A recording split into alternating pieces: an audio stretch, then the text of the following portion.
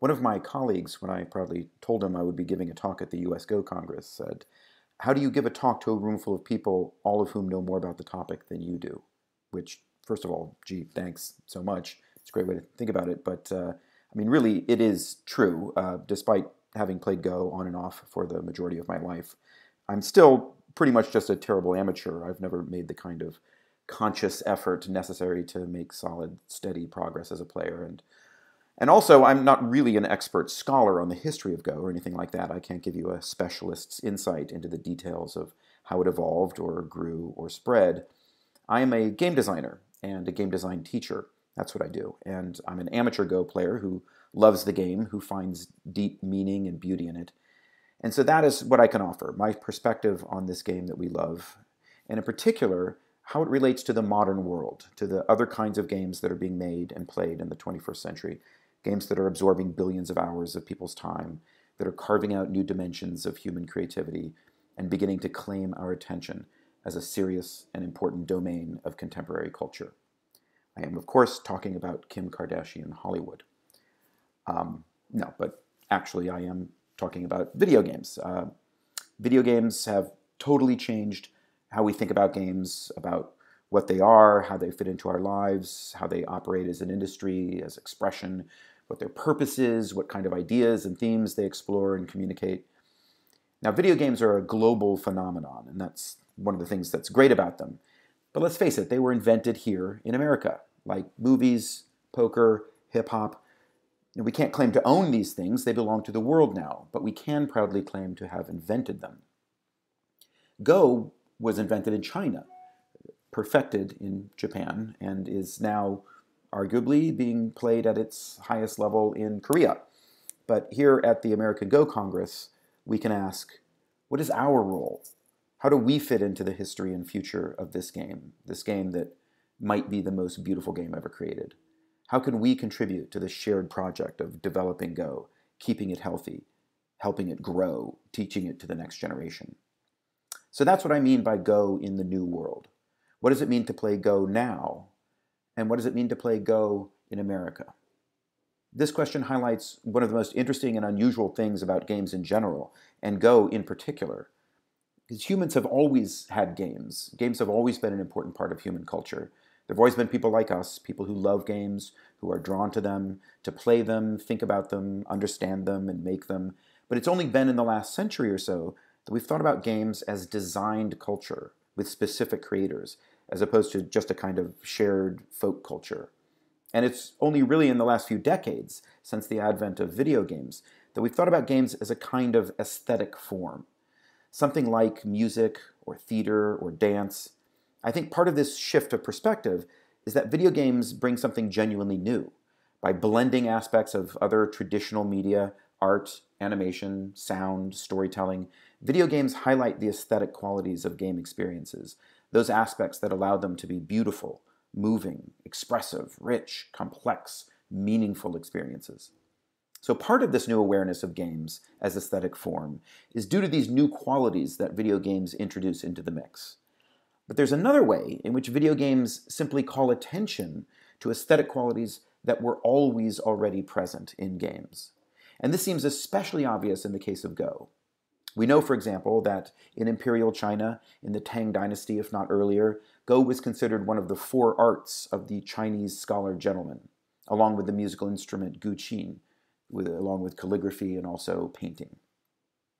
We can also see this aesthetic quality when we consider the experience of playing Go, the special way it is set apart from ordinary life, the way it creates a stylized, ritualized encounter with another person, the way it bears traces of the sacred and the magical without itself being strictly religious. The point is, Go is beautiful. It does have the ability to move us. There are deep ideas expressed through it. It is meaningful in rich, complex ways, in ways that can be hard to see and hard to put in words, because they aren't on the surface. These are the qualities that we truly value about Go. All of these qualities are, are, are a powerful demonstration of the aesthetic nature that is shared by all games, whether or not they have art, animation, sound, and storytelling. The aesthetic nature of games as interactive systems, ritualized interactions guided and structured by rules, complex systems of thought and action that we explore together.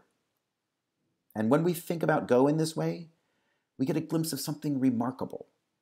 Because here is a beautiful work of human culture that is both tremendously ancient and vibrantly alive. Is there any other form of culture that extends through time in such a way? I mean, sure, we have Shakespeare, centuries old, and we still love Shakespeare. We still value him. We still celebrate him. His work is still influential. But there's a distance there. We appreciate Shakespeare across history. There are universal, transcendent qualities to Shakespeare that speak to us now, but there's a lot about Shakespeare that is of its era that we need to study within its historical context. And part of what we appreciate about Shakespeare is exactly this quality of being of its time while reaching out and speaking to us in our contemporary lives. It establishes a connection to this earlier period and creates a sense of continuity. And I think this is true of Michelangelo's David, of the Colosseum, of the Iliad and the Odyssey, even of something as recent as a Picasso painting. But Go doesn't feel this way. There's no question of its age. When you step into Go, you feel the ancient quality, like stepping into an old growth forest or climbing the well worn steps of an ancient city. But this is not a tourist site. This is a thriving, active city with people who live there people chatting, playing, fighting, flirting, cooking and eating, raising families. There's no sense of peering at something across the mists of time and trying to find a connection. When we play Go, we experience the same kind of beauty and meaning in the same way as the poet Shao Yang, who 1,000 years ago described the following scene. In a quiet courtyard in the spring, with evening's light filtering through the leaves, Guests relax on the veranda and watch as two compete at Wei Qi. Each calls into themselves the divine and the infernal, sculpting mountains and rivers into their world. We're not used to this sense of time. We're used to thinking about works of culture that last for a week, or a season, or a year, or two years, maybe even two decades, but then they disappear or they get preserved in a museum. But this, this is the long now. This is a whole different scale for thinking about works of culture. For example, in, in terms of thinking about this kind of long term, slow burn culture, my own personal relationship to Go is completely intertwined with my relationship to my son, James. That's him here. Uh, he's, I think, about to punish me for an especially weak play. Um, James and I, we both love games, and there are lots of games that we've played together. He sat on my lap while I played Myst. He learned to read by playing Magic the Gathering. We played chess. We played Donkey Kong Country. In fact, uh, for a short time, we were actually co editors of a small critical journal about Donkey Kong Country called The Monkey Boys, which many of you may have heard of. No? Anyone? No? Okay. Well, suffice to say, we played a lot of games together. But when James was 12 or 13, we started playing Go. And there's something about Go, about how fine grained it is, how finely calibrated to skill, and how simply and elegantly the handicap system allows you to track and measure relative ability. And so our games progressed over several years, and James got better and better as he got more serious, started studying in earnest, learning not just how to play Go, but what it took to really get good at something. While I remained a casual plunker, unwilling to invest the time and effort to really work on my game. And so we had this beautiful series of games, which were all about, on the one side, a young hotshot with this new sharp mental equipment, much better raw processing power, this desire to win, actively working on his game by seeking out the best players he could get games against online. And on the other side, this tired middle aged man who had read lots of Ishi press books 20 years earlier. I mean, I, I couldn't compete against the tactical firepower of this whippersnapper, but I had that old man wisdom, you know? I had board sense. I had intuition. I knew the proverbs. I had a feel for shape. I could speak the secret language of the stones, and they told me where they wanted to go. That kind of thing. I um, I probably don't need to tell you how the story turns out. He went from taking nine stones against me to taking eight, and then seven, and so on. The inevitable countdown to blast off, and then he eventually just took black, and then he took black and beat me. I don't think there's any other game that I will ever play that can do that. And no book or movie or piece of music When I think about all the complicated emotions and contradictory meanings of that moment, what it means to have a child and watch them grow up, what it means to feel the flow of time pass through your fingers, stone after stone, the intense pain felt by the male ego to be outplayed by a child, and the intense pride of a parent whose child is able to make their own way in the world, to climb ahead and look back and say, I'll show you the way forward. That's the day I learned that Darwin was right, that evolution is real, that we're not just getting louder and faster, we're getting smarter and wiser. That's the kind of thing that games can do when they last for thousands of years, when they're passed down from generation to generation. And so the question of Go in the New World is also a question about games in general, about how we should think about our relationship to the kind of culture that is very ancient and also very alive. Should we approach it with reverence, respect, awe, obeisance? Or should we be thinking of ways to adapt, mutate, evolve, and reinvent it to make it relevant to our contemporary lives, to keep it thriving and growing? Go is older than the Colosseum, but it's as alive as Gangnam Style. I mean, maybe even more alive, because let's face it, Gangnam Style is pretty 2012 at this point. But Go is as alive as Tetris, Words with Friends, Threes, Flappy Bird, Kim Kardashian Hollywood. It has to fight for a place on my phone, fight for my attention, fight for a spot in the App Store. And part of me wants to say, forget that fight. We're above it. And I think that's true to some degree.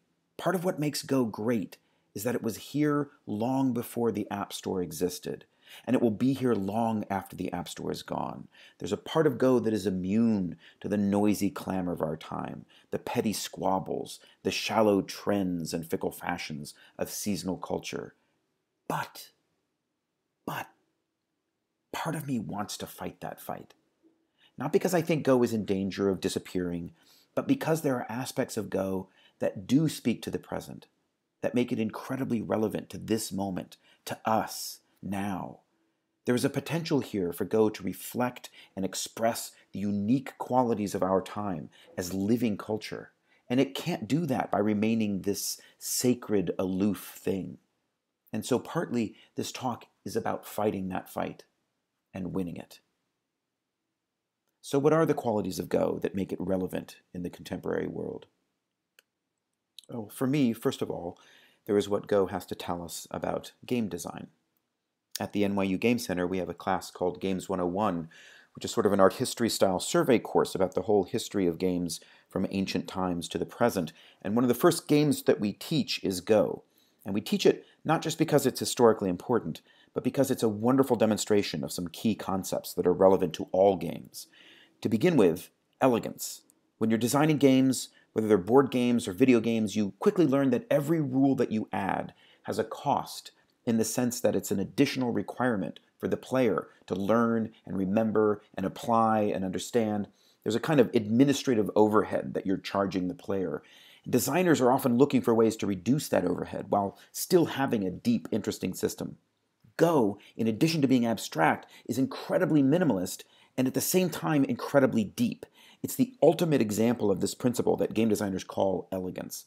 This is one of the reasons that Go has a kind of sacred status among game designers, because of how it shows how game design can often be about not adding ingredients, but searching for the perfect combination of ingredients, the magic ratio of things that will make the game come to life.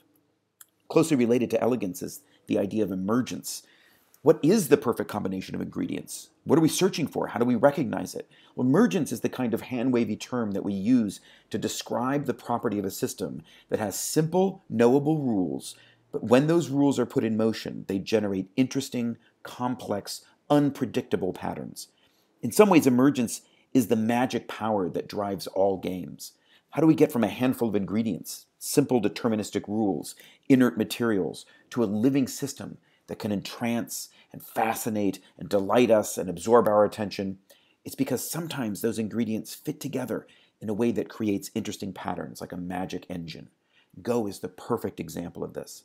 I mean, it's not just a coincidence that John Conway used Go stones to explore the concept of cellular automata and invent the ultimate example of emergence, Conway's game of life. Go itself is something like a cellular automata. It's just the right rule set to generate thousands of years of fascinating patterns. And by the way, emergence as a concept is incredibly relevant to a lot of the questions that we're especially interested in now in the modern world. Questions about consciousness, artificial intelligence. How can we get from uh, rules of physics and start there and end up with all of the strange and mysterious properties of the mind? Questions of cosmology.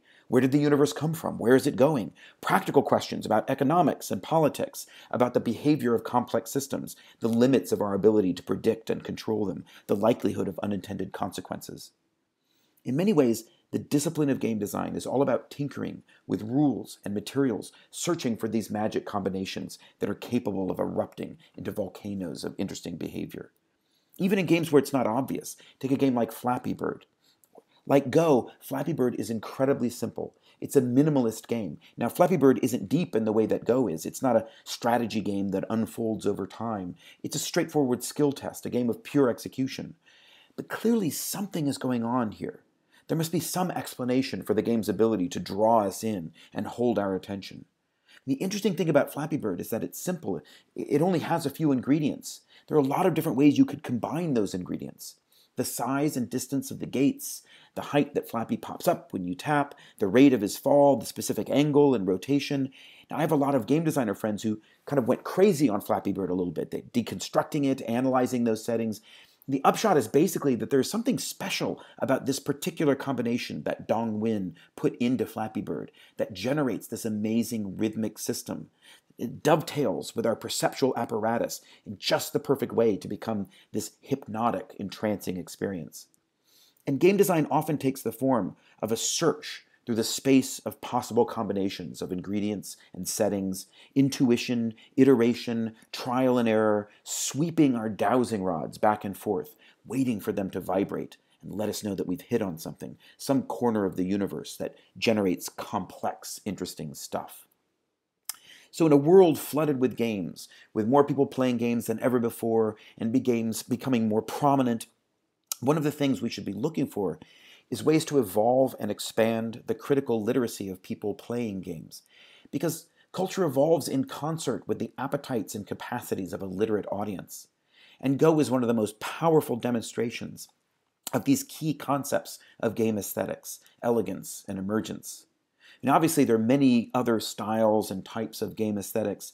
You have the aesthetics of Baroque complexity in a game like Pokemon, or and immersive simulations, but elegance and emergence are so powerful and important, and at the same time, so subtle and hard to see that it's incredibly valuable to have this deep demonstration of them in Go. Go is a much better demonstration of these principles than chess, for example. And one of the questions we should ask ourselves when considering how to expand and elevate Go is what's up with chess? What is chess doing that we're not? I think the simple answer is partly just tradition and familiarity. Chess has its roots in India, but then spread to Europe and became dominant there, and America inherited chess along with many other aspects of European culture. And then we get Bobby Fischer, and you know, once you get an American world champion, you kind of cement your status. At that point, we're permanently interested. But these things are not destiny. Cultural legacies are not immutable. They evolve and grow and change. And I think the time is right for Go to close the distance between ourselves and chess in the West, in America. Maybe we're in a similar situation to soccer, the global game that has been so slow to gain traction in the US. You can sort of see the parallels, right? American football is a game of highly specialized roles and discrete plays. Soccer is a game of potential and flow. And maybe it's just the afterglow of an amazing World Cup, but I think we can see soccer gaining inch by inch as Americans become more literate and more invested in it. So maybe that should give us some reason to feel optimistic. Literacy and investment, these are the keys to success an ability to read the game and a reason to care about it. If I were going to give one piece of advice for elevating the status of Go in the new world, it would be this that we should do a better job embracing and celebrating Go's status as the deepest, most challenging competitive game in the world. Sometimes I think that message gets diluted when we talk about Go as a lifestyle, when we focus on its ancient status, when we fetishize its mysterious and exotic qualities. Sometimes I think we have a tendency to overemphasize the mystical, quote unquote, Eastern properties of Go, its subtleties, its balanced interplay of forces, light and dark, yin and yang, even the beautiful traditional materials of wood and stone. Sure, that stuff is in there, it's important, but a lot of the way we talk about Go I don't know, maybe we think we're being respectful of its origins, but I think there's a danger there that we are at least partly exoticizing it. What would happen if we stopped highlighting that stuff and instead presented Go as what it is the world's greatest game, universally human, the greatest living strategy game, deeper than chess, harder than poker, the ultimate expression of competitive gameplay?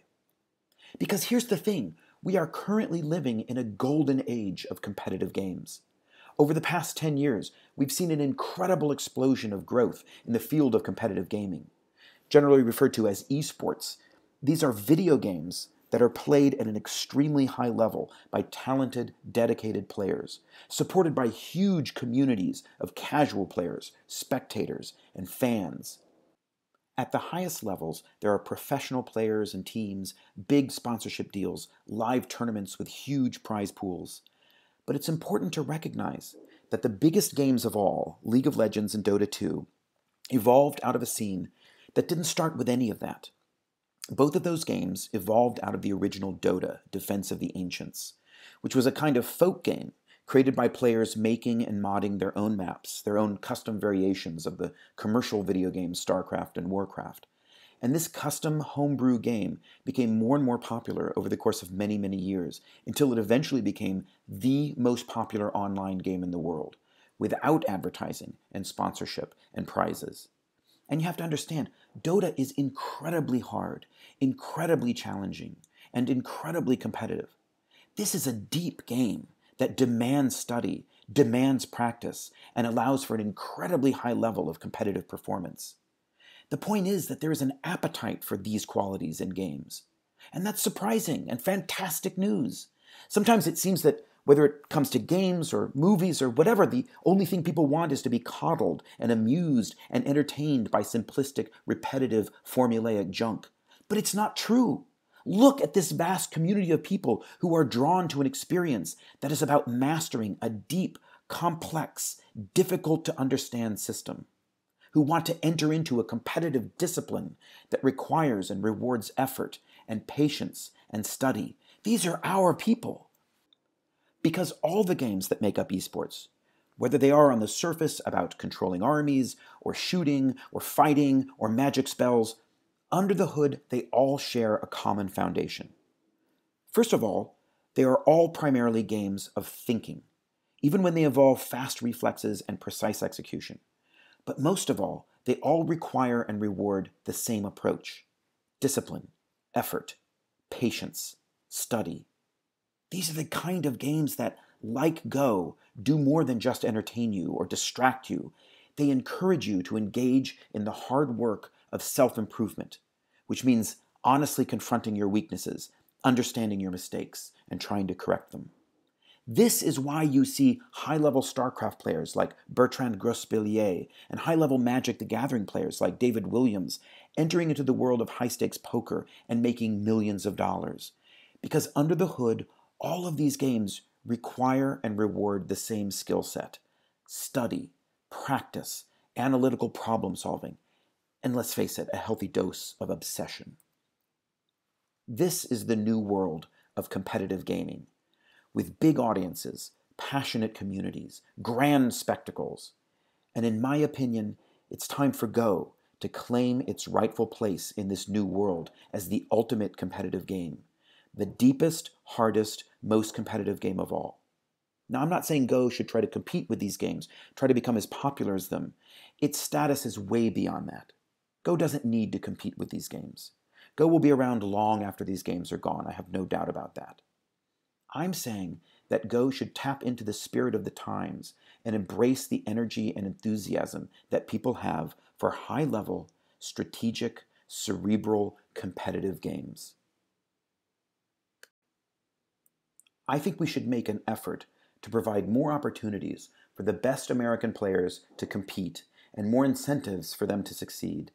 It would be great to see tournaments with prize pools and sponsorship opportunities big enough to capture the attention of some bright teenager who dabbles in League of Legends and chess and poker and Hearthstone and is pretty good at Go but doesn't have much opportunity to play it.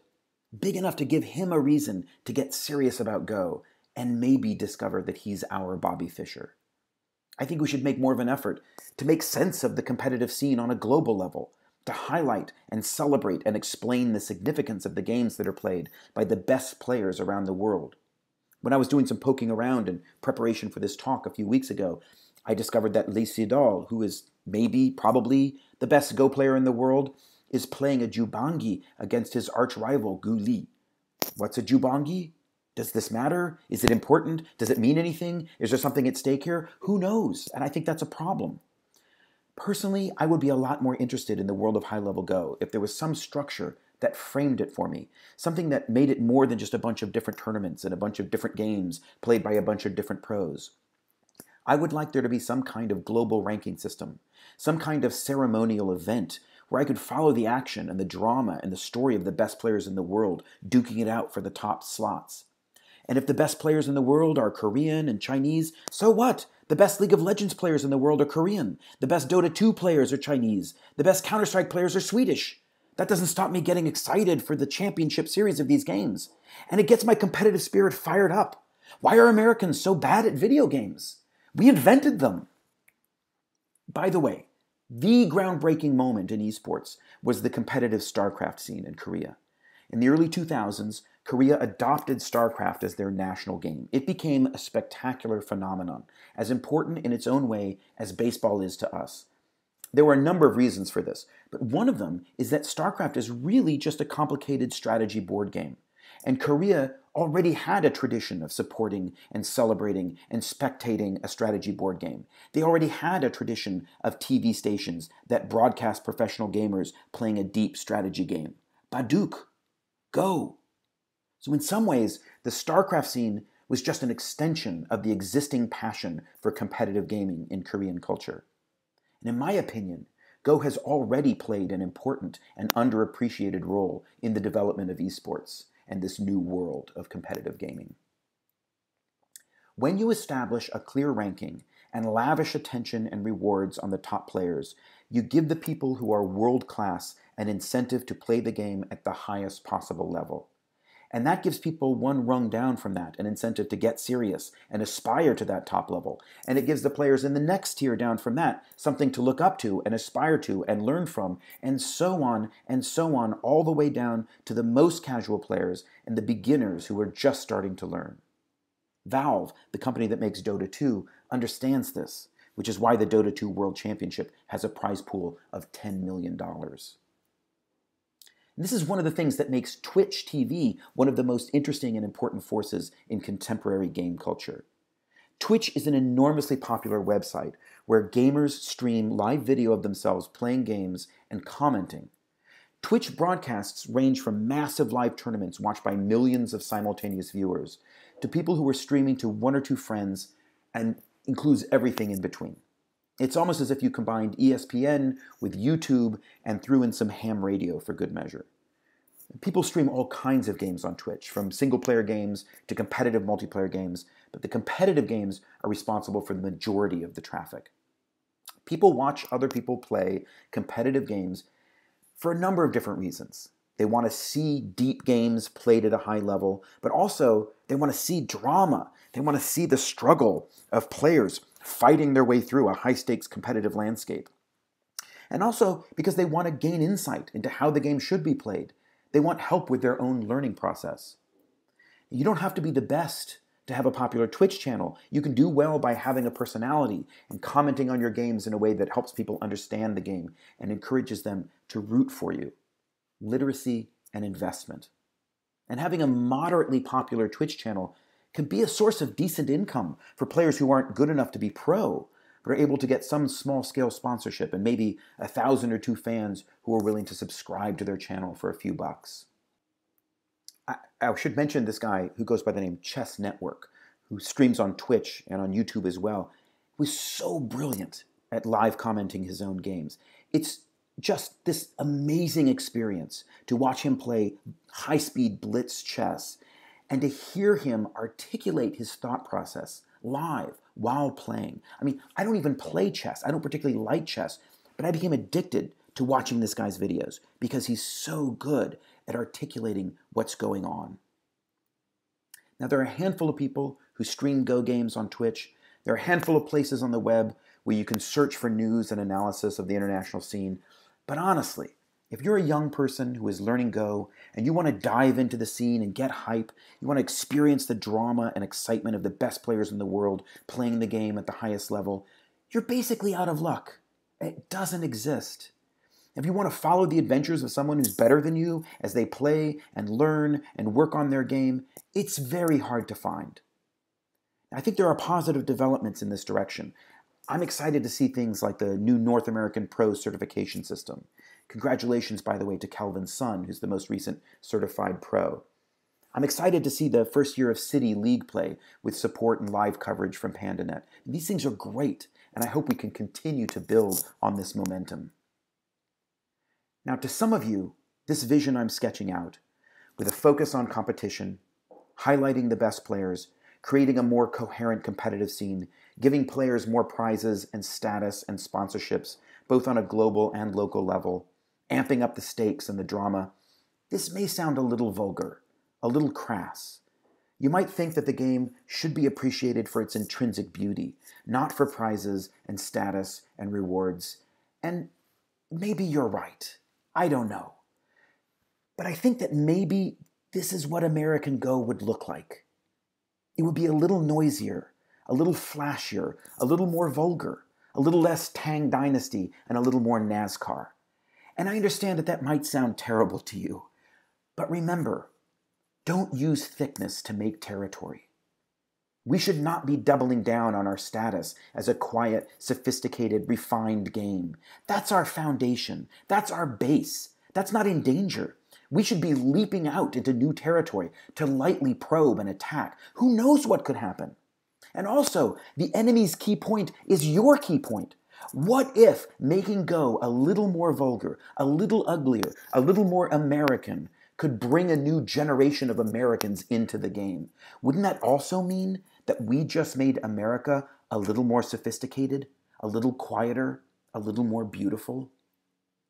I think there's a version of American Go that is like American yoga a little tackier, a little less spiritual, a little more athletic, a little more commercial, but still a good thing, a positive ingredient in our lives, and a busy, thriving, vital corner of the cultural landscape.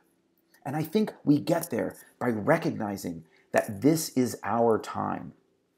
There is a generation of young Americans growing up steeped in the culture of deep, challenging, cerebral, competitive games.